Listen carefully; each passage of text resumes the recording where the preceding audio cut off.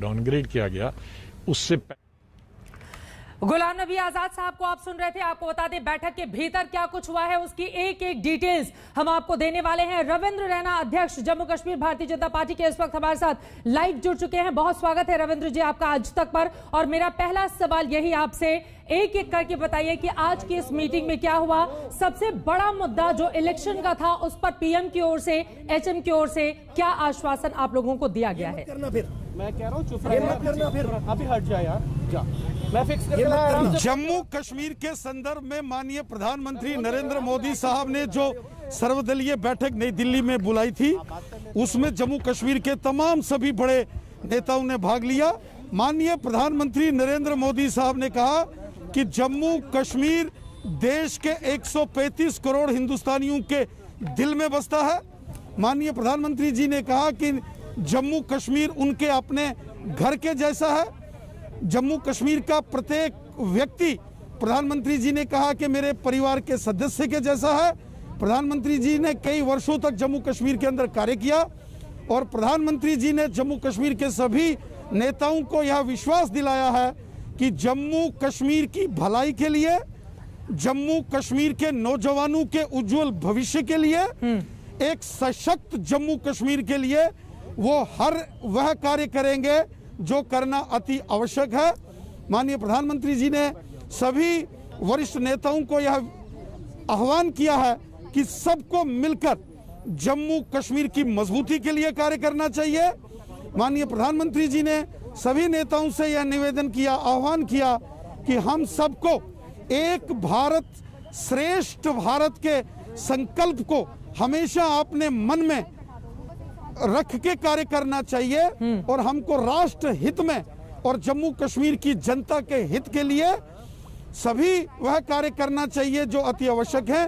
प्रधानमंत्री जी ने अपनी तरफ़ से जम्मू कश्मीर के सभी नेताओं से यह आह्वान किया कि वो मिलकर कार्य करें और प्रधानमंत्री जी हमेशा जम्मू कश्मीर की जनता के साथ हैं। उन्होंने कहा कि वो खुले मन से और बड़े मन से कार्य करते हैं और जम्मू कश्मीर की भलाई के लिए जम्मू कश्मीर की जनता के हित के लिए वह सभी कार्य करेंगे, जिससे जनता की भलाई होगी। ठीक है। रविंद्र रैना जी, अब मैं शुरुआत से आपसे जानना चाहूँगी क्योंकि आप बड़ा चेहरा जम्मू कश्मीर का और यकीनन पूरा देश इस वक्त आपको सुनना चाहेगा।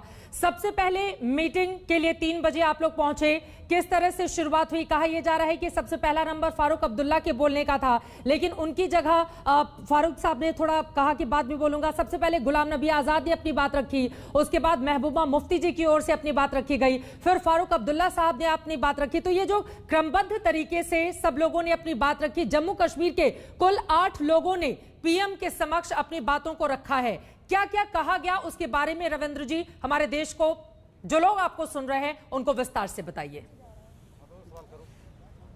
जम्मू जम्मू कश्मीर के लगभग सभी नेताओं ने जो बैठक में भाग ले रहे थे, उन्होंने माननीय प्रधानमंत्री जी के समकक्ष इस सर्वदलीय बैठक में अपना पक्ष रखा, अपनी बात रखी और प्रधानमंत्री जी ने जम्मू कश्मीर के सभी चौदह जो वरिष्ठ नेता थे उन सब की बात सुनी और बड़े मन से प्रधानमंत्री जी ने और खुले मन से ये कहा कि वो जम्मू कश्मीर के हित के लिए वह सभी कार्य करेंगे जो जम्मू कश्मीर की जनता की भलाई के लिए हैं। प्रधानमंत्री जी ने कहा कि जम्मू कश्मीर मेरे घर के जैसा है। मैंने कई वर्षों तक जम्मू कश्मीर के अंदर संगठनात्मक कार्य किया है और जम्मू कश्मीर का प्रत्येक बच्चा बच्चा प्रधानमंत्री जी ने कहा कि मेरे परिवार के सदस्य के जैसा है। ये हम सब के लिए बहुत बड़ी बात है। और प्रधानमंत्री जी ने साथ साथ ये कहा कि उज्जवल जम्मू कश्मीर के लिए वह हर एक वो कदम उठाएँगे जो उठाना अति आवश्यक है। सभी नेताओं ने अपना अपना पक्ष रखा। सभी नेताओं ने अलग अलग पॉलिटिकल पार्टीज़ ने सबने अपना अपना विषय रखा। और प्रधानमंत्री जी ने सबकी बात सुनी। हमने भी हृदय से माननीय प्रधानमंत्री जी का धन्यवाद किया। जब भी जम्मू कश्मीर के अंदर कोई आपत्ति कोई समस्या कोई परेशानी आई तो माननीय प्रधानमंत्री नरेंद्र मोदी जी ने सबसे पहले जम्मू कश्मीर की जनता को अपने सीने से लगाया और दुख कष्टों से बाहर निकाला। हम सबको याद है जब 2014 में जम्मू कश्मीर डूब रहा था दीपावली वाले दिन माननीय प्रधानमंत्री जी जम्मू कश्मीर आए और जम्मू कश्मीर के लिए अस्सी हज़ार करोड़ रुपए का मेगा पैकेज दिया। आज जम्मू कश्मीर के अंदर जो डेवलपमेंट के काम हो रहे हैं एम्स जैसे हॉस्पिटल हों रिंग रोड्स हों मेडिकल कॉलेजेस हों बड़े बड़े हाइड्रो पावर प्रोजेक्ट हों पंचायती राज सिस्टम आज पंच सरपंच बीडीसी और डीडीसी जिला परिषद का गठन माननीय प्रधानमंत्री जी ने किया। आज जम्मू कश्मीर के अंदर पश्चिम पाकिस्तान के रिफ्यूजी हों आज शेड्यूल कास्ट कम्युनिटी के हमारे दलित भाई बहन हों उनको सत्तर वर्षों में पहली बार अधिकार प्रधानमंत्री मोदी जी ने दिलाया है।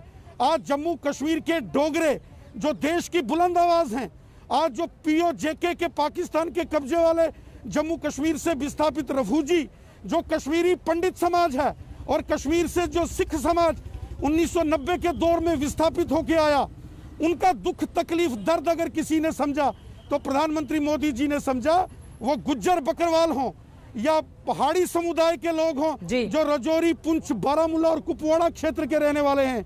जम्मू कश्मीर की बेटियों का दुख, तकलीफ़ अगर किसी ने समझी तो प्रधानमंत्री मोदी जी ने समझी। आज 108 केंद्रीय कानून, जो पहले जम्मू कश्मीर में लागू नहीं होते थे, जिसमें right to education act food security act national human rights commission national commission for women national commission for S and S जैसे महत्वपूर्ण कानून आज जम्मू कश्मीर के अंदर भी लागू कर दिए गए। सबने माननीय प्रधानमंत्री जी का हृदय से धन्यवाद किया आभार व्यक्त किया जो प्रधानमंत्री जी ने लगातार जम्मू कश्मीर के अंदर डेवलपमेंट के काम किए ये महत्वपूर्ण बातें। रविंद्र रैना जी आपकी ओर से बताई जा रही हैं और यकीनन कि मुझे भी बिल्कुल सर। पीएम की ओर से ये भी कहा गया, चूँकि उनको पता है कि विरोध की आवाज़ें भी वहाँ पर हैं। इस वजह से उनकी ओर से खुद ही ये कहा गया कि हमारे और आपके बीच में गिले शिकवे होते रहेंगे।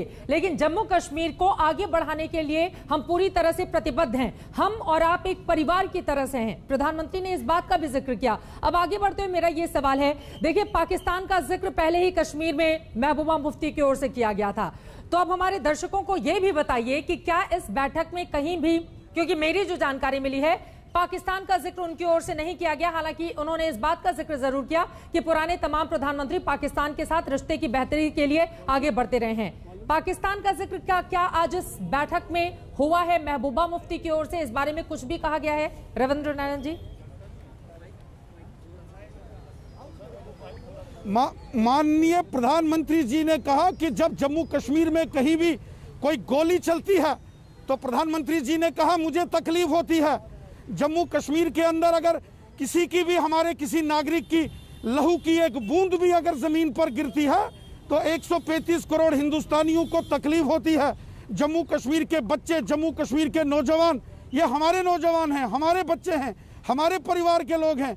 और माननीय प्रधानमंत्री जी ने सबसे आह्वान किया कि आतंकवाद, अलगाववाद और पाकिस्तान की मानसिकता ने जम्मू कश्मीर के अंदर शांति में खलल डाला विकास में खलल डाला। माननीय प्रधानमंत्री जी ने सब नेताओं से यह निवेदन किया कि हम सबको मिलकर एकजुट होकर पूरी ईमानदारी के साथ इंटीग्रिटी के साथ हमको जम्मू कश्मीर के लोगों की सेवा करनी है। बिल्कुल। हम जनता के प्रतिनिधि हैं जनता के प्रति अकाउंटेबल हैं। हमने जनता की भलाई का कार्य करना है। प्रधानमंत्री जी ने जम्मू कश्मीर के नेताओं से आह्वान किया कि आप पूरी इंटीग्रिटी के साथ पूरी कमिटमेंट के साथ वहाँ लोगों की समस्याओं का समाधान करिए जो काम आपको करना है आप करिए। और दिल्ली सरकार भारत सरकार के दरवाजे जम्मू कश्मीर के लिए हमेशा खुले हैं। जम्मू कश्मीर की भलाई के लिए हम हर वह कार्य करेंगे सर एक छोटा सा जवाब आपसे चाहूँगी। विधानसभा चुनाव कब तक कराए जाएँगे? इस बारे में क्या आश्वासन मिला है की प्रधानमंत्री की ओर से? के साथ कोई समझौता नहीं होगा। माननीय प्रधानमंत्री जी ने कहा कि बहुत जल्द डिलिमिटेशन कमीशन जैसे ही उसकी रिपोर्ट सबमिट हो जाएगी, जम्मू कश्मीर के अंदर अभी परिसीमन का कार्य चल रहा है। परिसीमन आयोग अपनी रिपोर्ट सबमिट करेगा और जैसे ही परिसीमन आयोग अपनी रिपोर्ट सबमिट करेगा, विधानसभा सीटों का गठन हो जाएगा तो जम्मू कश्मीर में उसके तुरंत बाद विधानसभा के चुनाव होंगे रविंदर जी मैं चाहूँगी हमारे साथ आप बने रहिए। ईमानदारी से होंगे। बड़ा आश्वासन दिया गया है जम्मू कश्मीर के। नेताओं को प्रधानमंत्री नरेंद्र मोदी की ओर से और साथ ही सभी दलों के साथ आगे बढ़ने की बात पीएम मोदी की ओर से कही गई। रविंद्र